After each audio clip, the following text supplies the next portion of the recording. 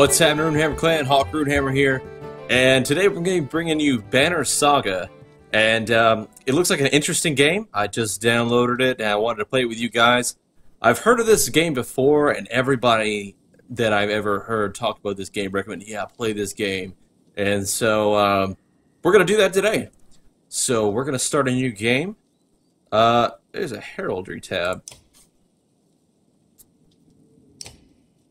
Let's see. Uh, wow, there's a lot of interesting uh, things. That looks like... That kind of looks like the Attack on Titan uh, emblem there. That's pretty cool. Uh, there's some really cool stuff. I'm not going to go through all of these, though. I'm just going to find one that looks cool, and I'm going to go with it. Let's see. Um, what stands out to me? Something that looks menacing. Uh, let's see. Let's run through some of these. What is this? Oh yeah, I don't know what this guy is or what he's from, but that's definitely not gonna be my banner. Um, it's funny though. It really is. Um, let's see. Oh, kitty cat. Oh, look at the kitty cat. It's like Garfield. Like a Viking Garfield. Um, wolf. I like I like wolves. But we're not gonna do that one. We're gonna find something different. It's a cat with a I don't know what. There's some funny stuff in here though. Um, let's see. Let's take a look. A look see, shall we? What is that? It's an eye. It's an eyeball. Uh, Viking power. Uh, an owl. Hooty hoo. Um, let's just find one. Let's just find one, guys. Find something that looks cool, and we'll run with it. Okay, that's a cooler looking wolf. I like that. I like that. Um, let's do this one. Nice, uh, nice plain banner, but it's like, I don't know, something sort of uh, intimidating about it. So, uh, let's do that. Let's hit new game. The story in the Banner Saga changes based on the choices you make. You will occasionally switch between lead characters, witnessing the story unfold from different perspectives. Cool. I'm gonna read this. The gods are dead. In their wake, man and giant survived through a tenuous alliance, driving black destroyers called Dredge deep into the northern wastes. Now is an era of growth and trade. Life goes on. Only one thing has stopped the sun. Holy crap, guys. The sun has stopped.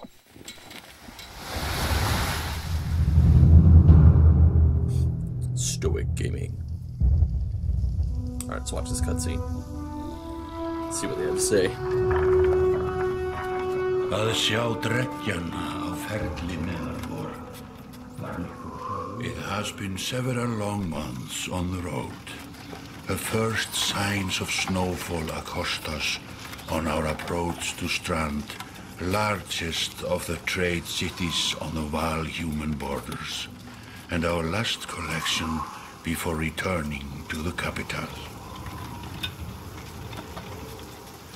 Several days ago, the sun simply came to a stop in the sky.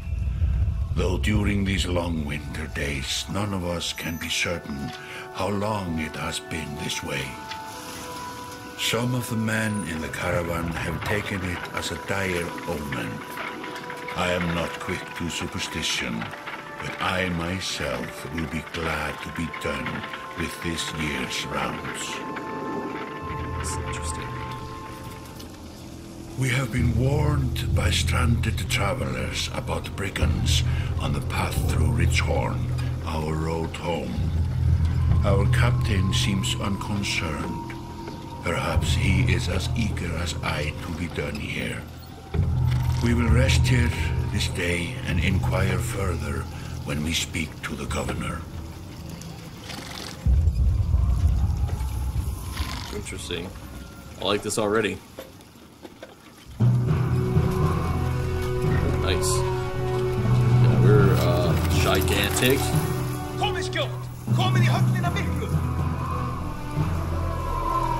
Love what he said. I do like this game. Gitt ég leifa oss að syngja!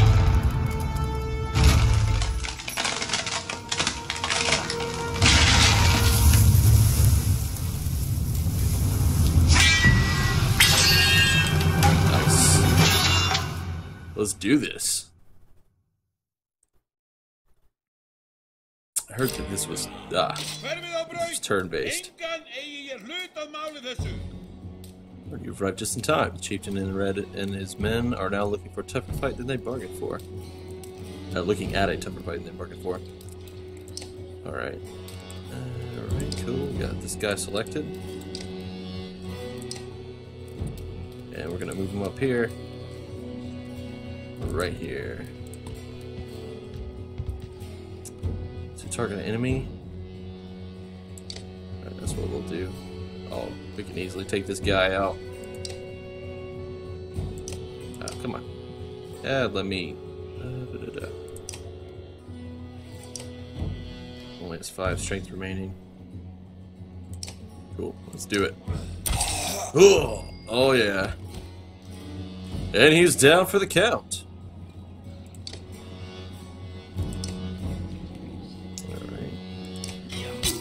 Ah, Owie. Traded blows here. Warhawk's turn.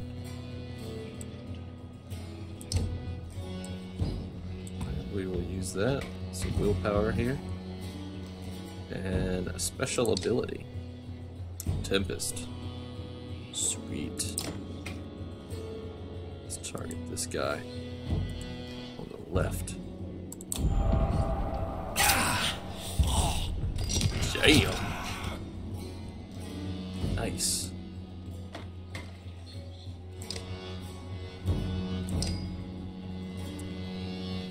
Looks like the chieftain's in some trouble. I would say so. Alright, we're gonna do this and use willpower to take him out.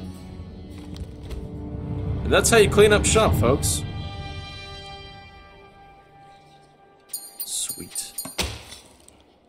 I like this game already. Like a rabid wolf, that one. How did it come to this? We fool ourselves believing that peace will last. My grandfather built all this from a poor fishing village, you know. He watched the gods die, watched the chaos that followed, watched man and var slaughter each other, even before the dredge arose. All we've done is traded one struggle for another. Now that there are no more dredge to war against, we war against ourselves. This chieftain meant to kill me, and he's not the first. A dozen families in the city would gladly take my chair. This one had men waylaying merchants, both north and south of the city, strangling trade. Quite well, I would add, though he denied it to his last. This sort of wolf doesn't stop biting because the head is cut off. It just grows a new head.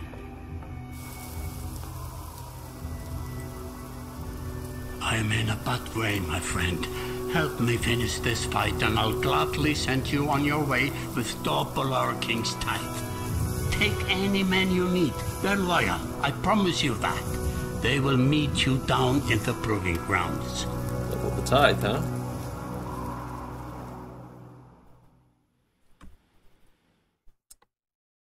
Sun. Only the sun has stopped. Alright. Let's, uh... You're approached by a familiar man who walks in step with you as you're leaving the Great Hall. He cuts to the chase. Eric, steward of Strand. I manage the governor's business. Ubin, is it?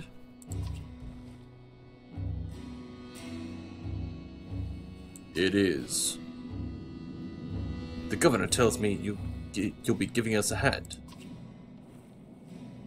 Seems a bit chaotic around here, Eric. It's been worse. You've got a lot of irons at the fire. What does he want exactly? Scalfings that you didn't hack up in the Great Hall, scattered after you took out their chieftain. The governor just wants to make sure they stay down. Was hoping you'd join me at the marketplace by the docks. If there's anyone left to worry about, I know who can tell us. Alright, let's go.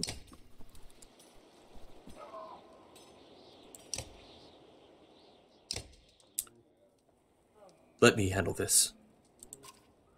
You meander through rows of open-faced houses and eroded stalls.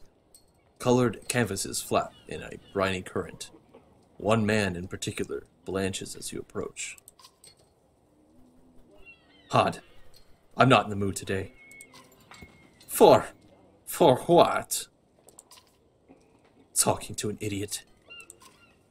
The Scalfing's chieftain bled out about an hour ago, Hod.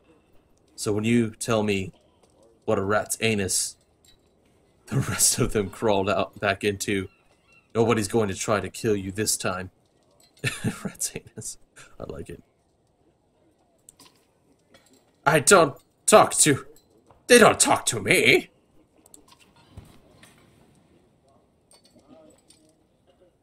Eric, need some help here? Hod, I had a change of heart. I hope you do give us a hard time. Hod sweats visibly, fumbling with some dirty trinkets on his table. Just. Wait, just. Buy one of these if, if everyone thinks I'm getting worked over every week. How am I supposed to know much? Just a little food money, yeah?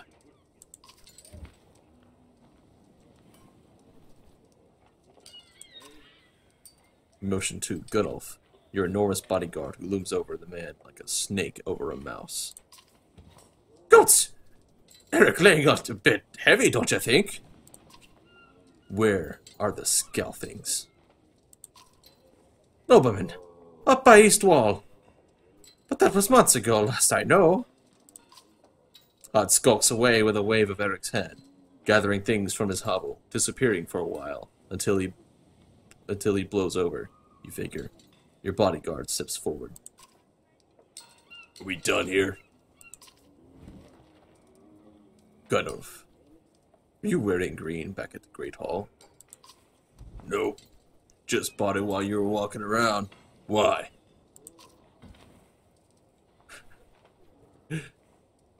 You look like a frog. Better than an eggplant. I love his response. Better than an eggplant. Gunnulf goes off to look at more stalls. Eric, that man of yours seems unreliable at best. A blind dog wouldn't trust Hod, but he used to be a scalfing. If they're licking their wounds, they've probably gone to old haunts, not new ones. Nobleman is a mead hall? Best I can tell, the name's ironic. Listen, I know a guy who would love to put a few of those skulls in the ground. I'm going to find him. I'll meet you there.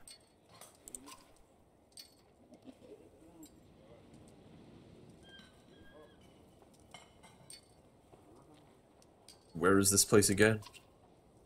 Nobleman is halfway up the hill, towards the Great Hall. You won't miss it. Just make sure the governor remembers his promise. Oh, whoops, wrong voice. Just make sure the governor remembers his promise. Double the usual tithe. Trying to do voices here. Uh, I'll remind him. Trying to make it entertaining, guys. I know it's a lot of, a lot of uh, talking. You arrive in front of what must be noble. A few minutes later, Eric appears with a weather-beaten man and introduces Valgard. I'll point them out, Eric says over his shoulder. Ready? Let's get it over with. That's the spirit, Valgard says. Okay, here we go. Valgard boots the front door open so hard it won't close again without repair. As you enter the hall, Eric is already at the head of a table, his axe drawn, wide-eyed. Drunken scalfings scramble to find their own weapons, turning tables and mead steins in the process.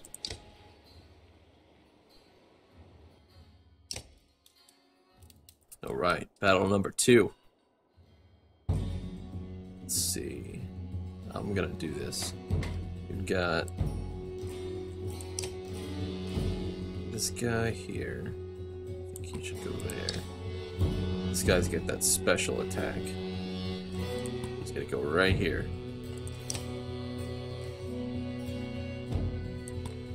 Put you here. You right here. I'm gonna pool our pool our resources together. And uh Ubin's just like sitting here chilling back at the door like, yeah, you guys can handle this. Alright, let's do this. Uh, oh, ready. I was hoping for more of a fight than this. Look at him. It's gonna be butchery. What does Stonewall do, I wonder? Let's move down. Let's move down here. Let's only move one. I like to let them come to me.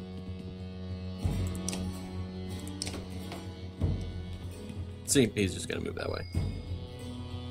Alright, you are gonna go this way.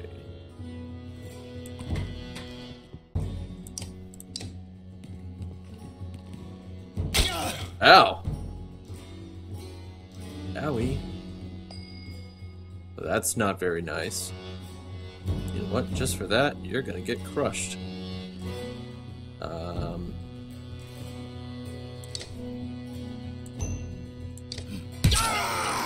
Yeah. What I'm talking about. Uh.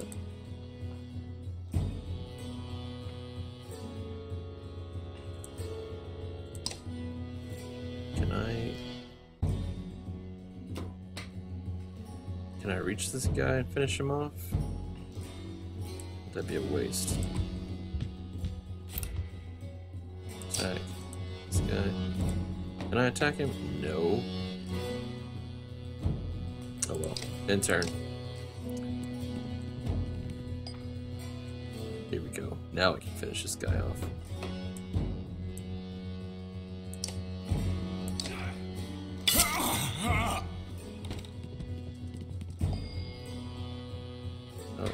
Uh, I don't really know what to do with Eric. He doesn't seem very, very strong.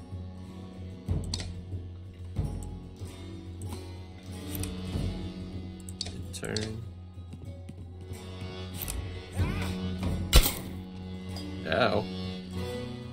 It's not very nice at all. I'm gonna go send you over here to intercept these two. Uh, line them up. Line them up for me. Line them up for me.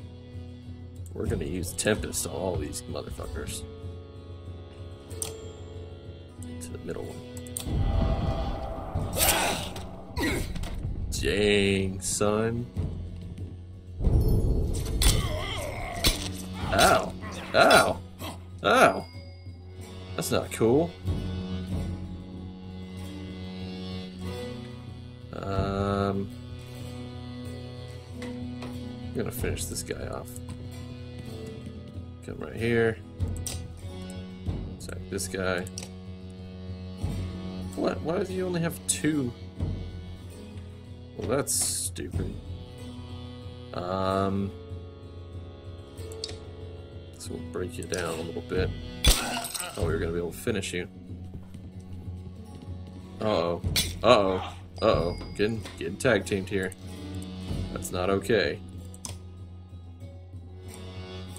I'm gonna attack you. Come on, come on. Come on.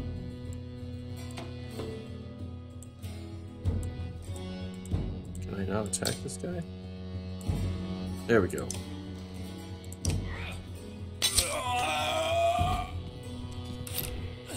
Oh man. Ah! I don't like that. I don't like that they're ganging up on my guy. It's not cool. It's not cool at all.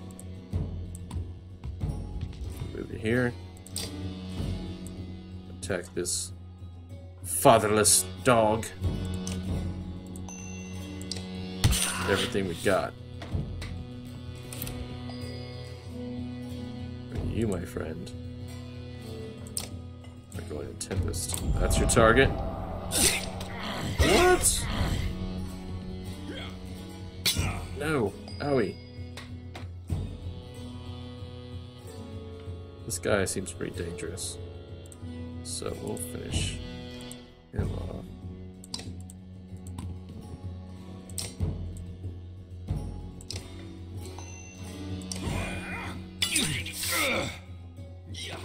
Tough.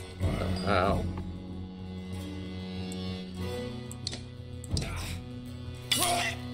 Got him. Ah, dang. He's almost gone.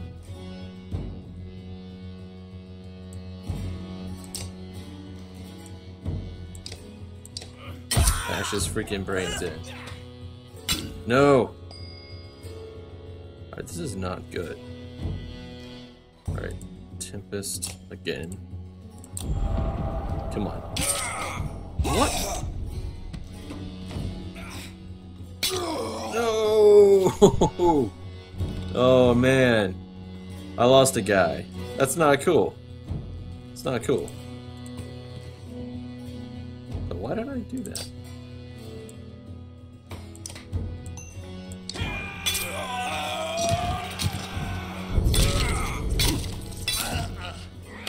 Oh.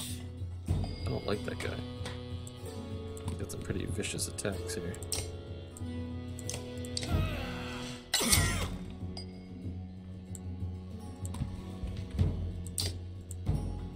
Your mother was a hamster, and your father smelled of elderberries. That's for Gunnar. It's not cool, man. I already lost a guy. Well, I guess that's what it gets for calling me an eggplant. He got promoted. Oh, he got promoted, but he's dead. He got killed. Maybe he's just out of the fight. I don't know. There they are. Gods be damned. Got to go wash off this blood. Eric looks, looking out the hall window, windows onto the bay. A fleet of longships approach with sails of blood reds and blues. Of bold reds and blues, my bad. Can't read today. One banner I know well. Folknir. Next to the Varl kingship last we spoke. The other flag looks important. Yeah, important guests. See what I deal with all day long? Ah, that makes things a, that makes a little more sense. You'd hoped I'd have a stake in saying everything's fine here, and the royal guests arrived. Not me, the governor. Now I have to make sure there's no rotting bodies or pools of entrails still in the Great Hall before they come by. Can I ask one more favor? What is it? If you happen to stall our guests down on the docks, I wouldn't object. Maybe I will. Eric and Valgard hustle from the mead house. To his credit, Eric tosses the barkeep a spar of silver for the mess. You give an apologetic shrug and go to greet the new arrivals down at the docks. Makes me think of Han Solo in Star Wars. He's just like, eh, for the mess. When he kills Greedo. Kind of reminds me of that. Alright. You have great morale. And lots of supplies, apparently. Alright, well, let's go on down to the docks. That's a lot of ships coming in. Vognir. Familiar Varl steps onto the docks. In your mind, you recall a much younger version, tramping the halls of Grofheim, abundant in purpose.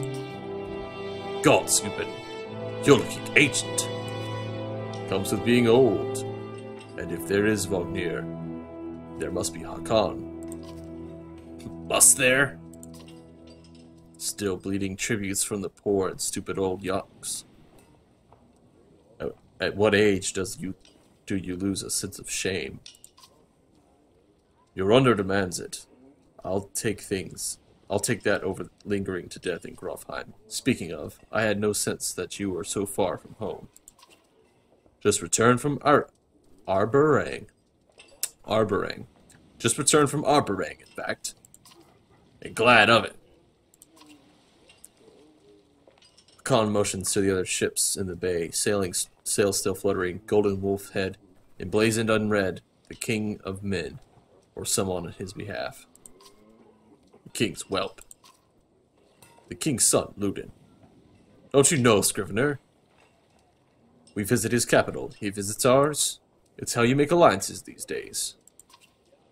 It's a miserable waste of time. Yes, Hakon has it. I'd almost forgotten.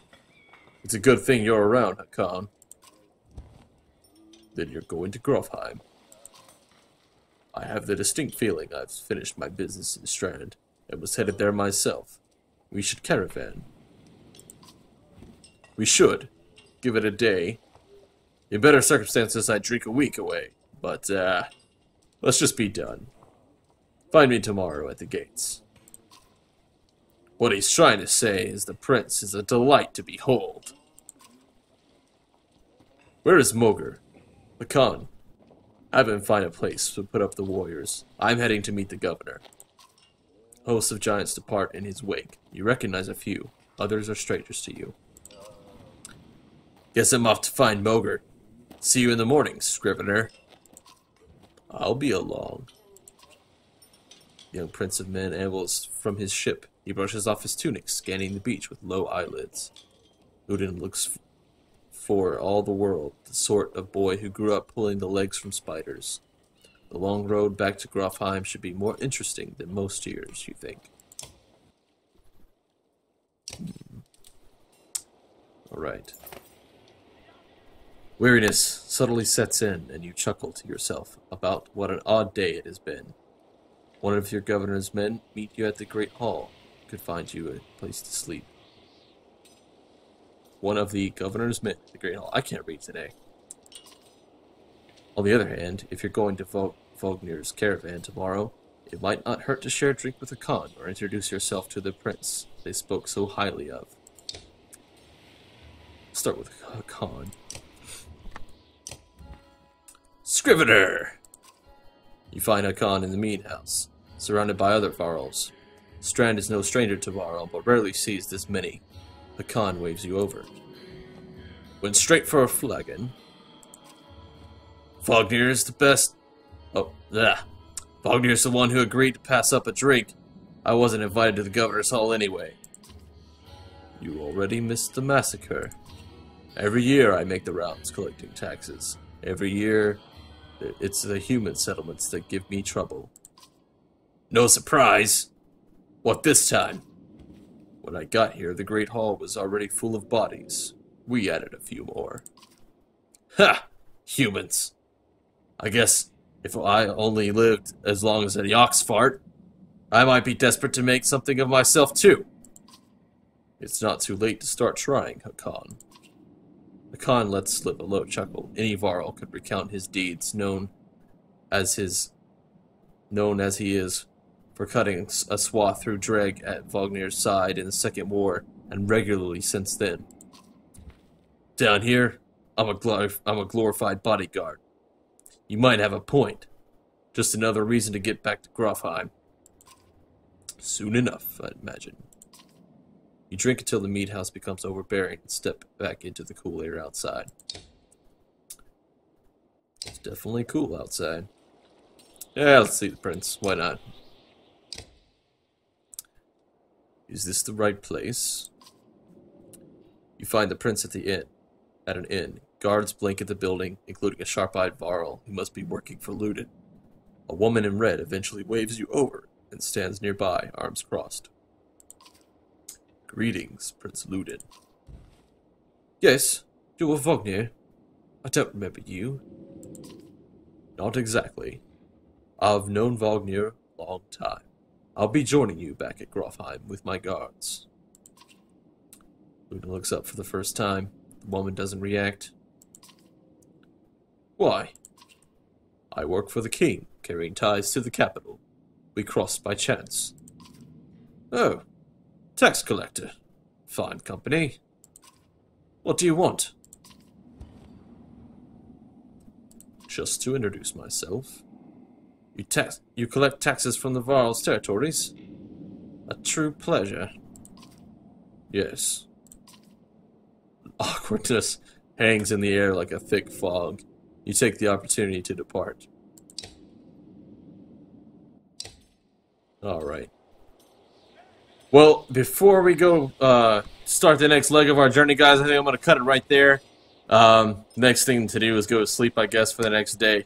So, let me know what you think down in the comment section below. Should I continue to do this game uh, as far as a Let's Play goes? Should I make this a series? Are you, is this entertaining to you? I know there's a lot of commentary and a lot of words. I try to make it interesting by adding voices and sort of acting parts out a little bit.